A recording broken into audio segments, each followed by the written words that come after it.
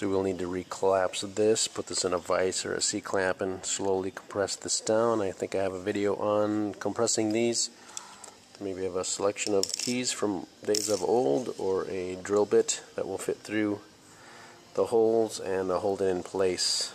You want to hold it in place and this will be the, once your time marks lined up then you can pull this pin and uh, let the tension tensioner do its job on the timing belt. So the tensioner's loose and your time marks are lined up so you can just take the belt off.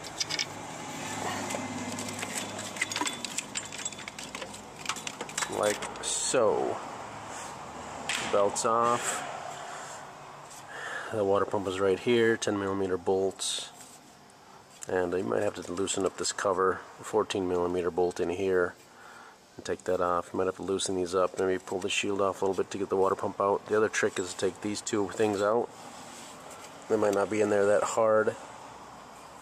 Maybe a vice grip on here and get those off. It'll and you can tuck it and twist it and you don't have to worry about sliding it straight off and get it out from underneath the shield.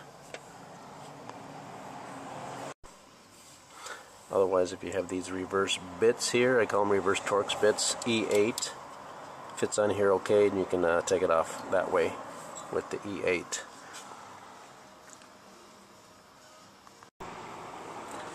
Alright, I got this black cover off because that's how I'm doing it. These bolts are probably in at about 110, 120. They were pretty hard to break loose. I don't really recommend you do the job uh, with that unless you have a good way to hold them. We have a special tool for holding those right here.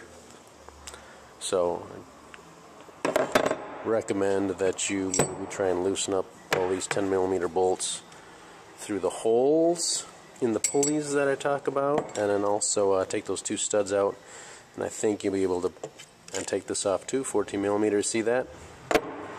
You probably take that one off and then this might give you enough flexibility and take those two studs out and you can weasel that water pump out this way.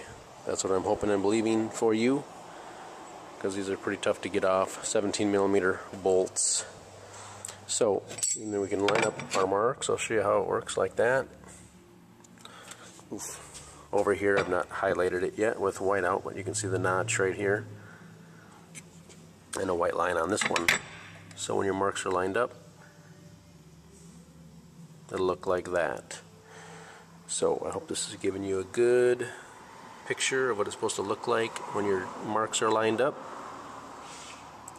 on the camshaft pulleys.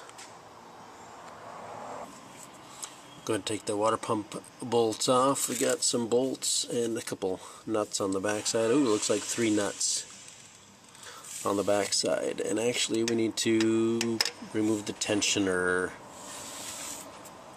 so I'll do things in a little bit backwards order I'm going to get all the bolts I can and then we'll get down to the tensioner and get that out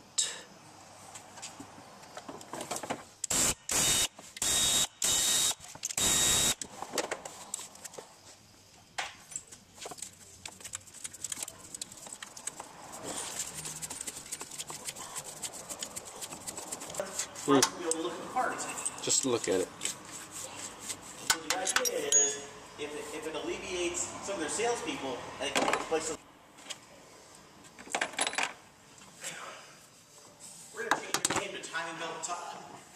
Be great.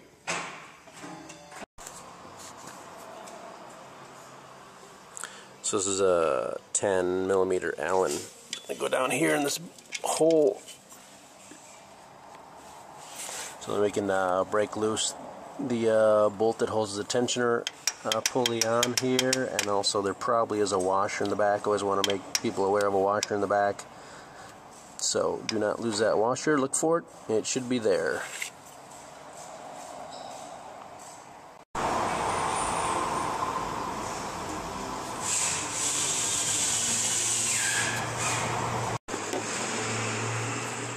So I'm hoping this will untuck for you behind that black cover that I took off. I don't necessarily think you have to do that. I think if you can loosen up all those bolts, which I've showed you, and take off the stud, you can get it. Got my collector underneath, and now we've just pulled off the water pump like that. Let it drain out the rest of the way, and we'll pull our water pump off.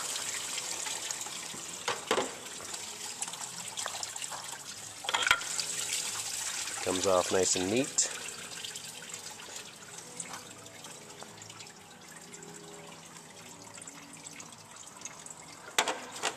First original equipment uh, gasket is metal.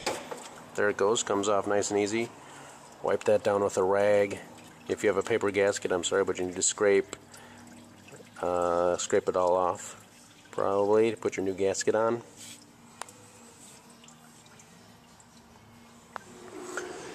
I've heard about people, if they pull off a water pump or if they pull something off and the gasket stays on the vehicle nice and neat, I've heard of people just using a little bit of silicone on the water pump or whatever they're putting back on the vehicle and siliconing it and bolting it back up. Can't necessarily say I recommend that, but certainly as an option, uh, last resort. Got the new gasket on there and the new water pump. Three bolts, three nuts, about 71 inch pounds only, not really tight. So tighten them down and put our studs in and uh, start the process of putting it back together. Get your time marks lined up.